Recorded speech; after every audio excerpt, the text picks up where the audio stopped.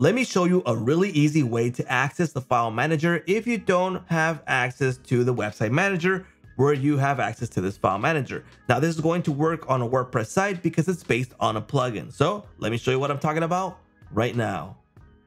What's up everyone? I want to show you a free plugin that can give you access to the file manager in case you can't access it from your website manager. So that means if you can access your BPS manager, cPanel, Plesk, etc., or you're managing a website for a company that they don't have access to the hosting part, this is a great way to access the file manager. Now, this is going to work on WordPress.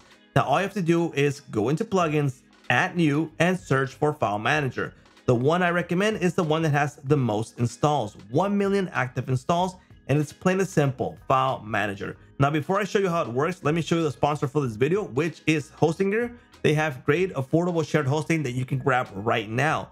So go into the link in the description and jump into hosting, web hosting, and you're going to be able to view the plans that they have available. So they have plans from $2.99 from all the way up to $9.99 per month. Now I'm going to recommend this one, the most popular one, which is $3.99, which gives you access to 100 websites, 200 gigabytes of NVMe storage, and a whole lot more, even a free domain.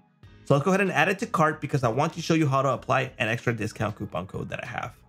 Now, once you are here, Hostinger is going to ask you how many months do you want to pay in advance. I recommend 48 months. You lock in the lowest price, lowest renewal price, plus you're good to go for 48 months. No payments until then, all right?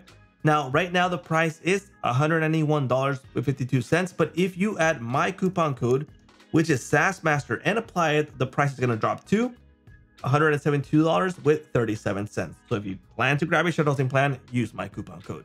Now, for the plugin, like I said, it's already installed. I already searched for it, and you're going to have a new menu here on the left. So go ahead and select it. And the first thing that's going to open up is the actual file manager. So let me go ahead and start from the beginning. So you have access to the admin section, the content section, and the includes. So if you need to modify plugins in the content section, the theme, your uploads, etc., you will have access to them from here. So for example, if you are having issues with a certain plugin, you can go ahead and open it up here and you can go ahead and rename this in case it's causing some bugs.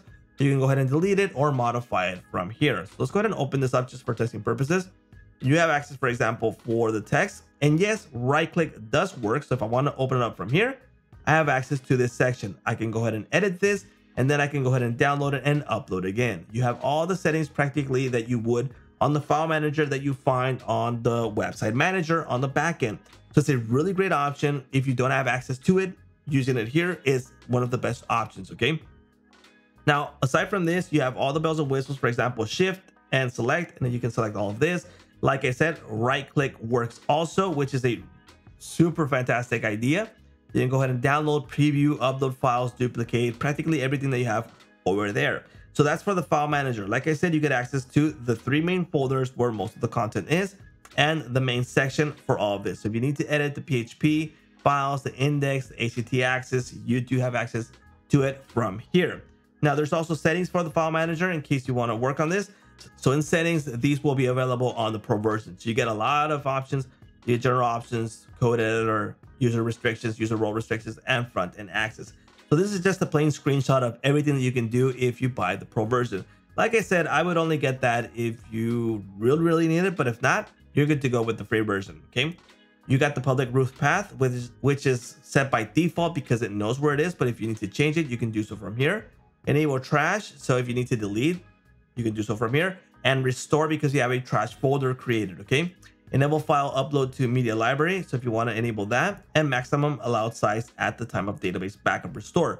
So 67 by default, you can go ahead and modify that if you like. But basically that is the free file manager that you have access to in case you can't access it from the backend where the website manager is. But there you go. That is this free plugin. If you want to grab it, the link we provided in the description. And that's a wrap.